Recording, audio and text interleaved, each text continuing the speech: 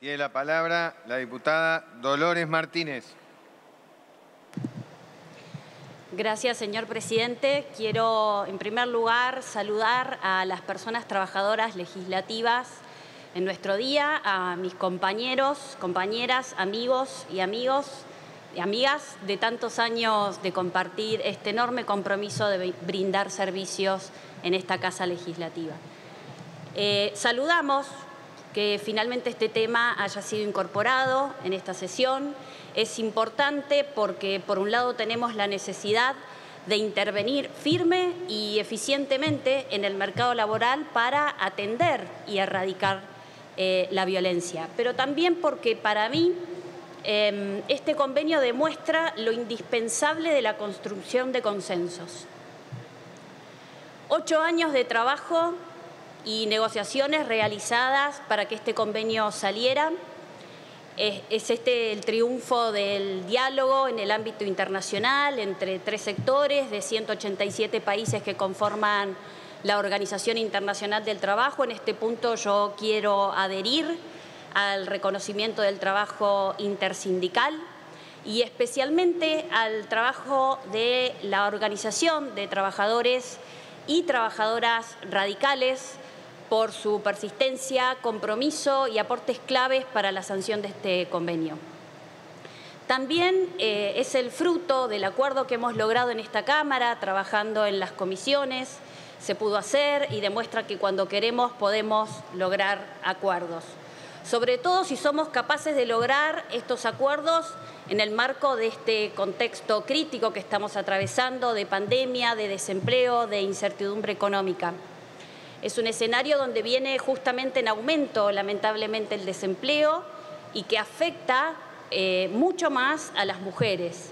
Eh, y en el caso del empleo no registrado, que es uno de los enormes problemas que tenemos, porque está llegando a más del 35%, también es eh, más profundo y afecta muchísimo más a la población femenina. Por eso, estas coincidencias tienen, nosotros tenemos que lograr sostenerlas, ¿no? Y nos tienen que permitir pensar los desafíos y requisitos eh, que tenemos frente a la adecuación legislativa que trae ratificar este convenio. A nosotros no nos puede tomar otros ocho años para poder diseñar estrategias que generen crecimiento económico con empleo digno y libre de violencia. Trabajar en conjunto teniendo presente la perspectiva de género, eh, la perspectiva del trabajo decente, eh, las políticas del cuidado y la necesidad de mitigar la doble y hasta la triple jornada laboral que atravesamos las mujeres. El mercado de trabajo discrimina a las mujeres solamente por el rol social de cuidadoras que se nos asignó y nos obliga a elegir entre el desempleo, el trabajo precario, los sueldos inferiores y hasta situaciones de maltrato. También en este cuerpo tenemos la tarea de innovar, de ser creativos, primero para bajar la incidencia del trabajo no registrado y precario, y segundo, para que la persona trabajadora que persista justamente en la informalidad también esté protegida de la violencia y acoso en todas sus manifestaciones. Un dato, de todas las ramas de actividades que releva el Ministerio, la que mayor cantidad de trabajo no registrado presenta es el rubro del empleo doméstico.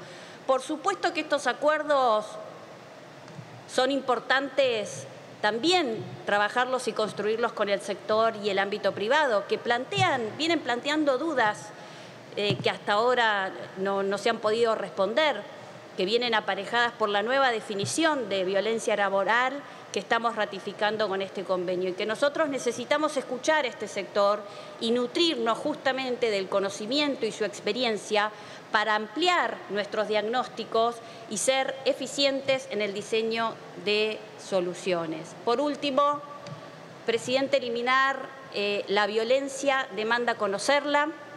Sabemos que cae con principal énfasis sobre las mujeres, pero necesitamos tener datos confiables oportunos, exhaustivos, que nos digan qué sector de la actividad económica la violencia es más frecuente y en dónde debemos intervenir más, qué rango etario es más vulnerable y dónde tenemos que proteger más eh, los ámbitos laborales, esos espacios, qué roles, qué momentos debemos tener, eh, digamos, en qué áreas tenemos que tener eh, una principal atención. Necesitamos datos para tener ojos y necesitamos acuerdos para tener soluciones estables y transparentes.